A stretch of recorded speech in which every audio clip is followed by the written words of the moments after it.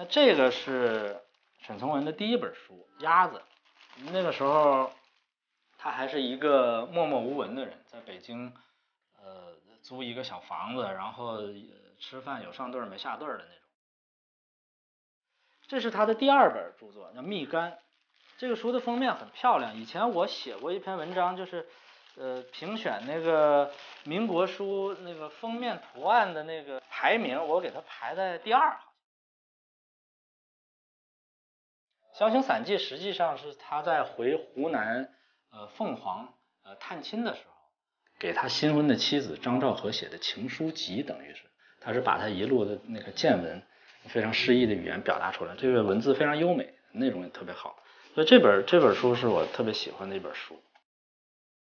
这本书的名字叫《猛虎集》。那这本书的封面呢是闻一多先生设计的，呃，这是一个老虎身上的这种花纹。闻一多先生早年他学美术，所以他的那个呃美术的造诣是非常深的。那么他设计的这个封面也成为中国呃近现代书籍装帧史上的一个一个经典。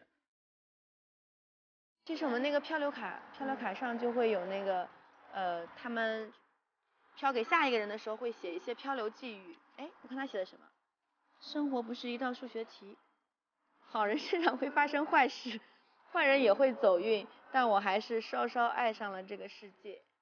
我们那个书也可以从线上漂流，就是读过的书也可以直接飘给呃其他城市的书友啊这样子。我是福大中文系毕业，然后福大中文研究所毕业这样子，然后我毕业之后就来这边工作。我原本的人生规划就是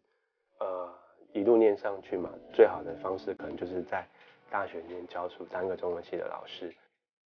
我这边比较是中国古代，清代或者是那时候我硕士班已经到三年级升四年级，就要写论文阶段，然后我一直不断想，这是我要过的日子嘛。我想试试看，说在旧乡区可以找到我的另一种可能，就是我也觉得旧书店店员应该有他的专业存在，他应该是一份正式的工作，是一个可以被这个社会接受的工作，而不是把它视为一个临时的 part time 的工作。那至于旧书店店员应该长什么样子，应该具备哪些专业，或是什么算是一个称职合格的店员，这个问题我可能要用一辈子来回答，因为不会是。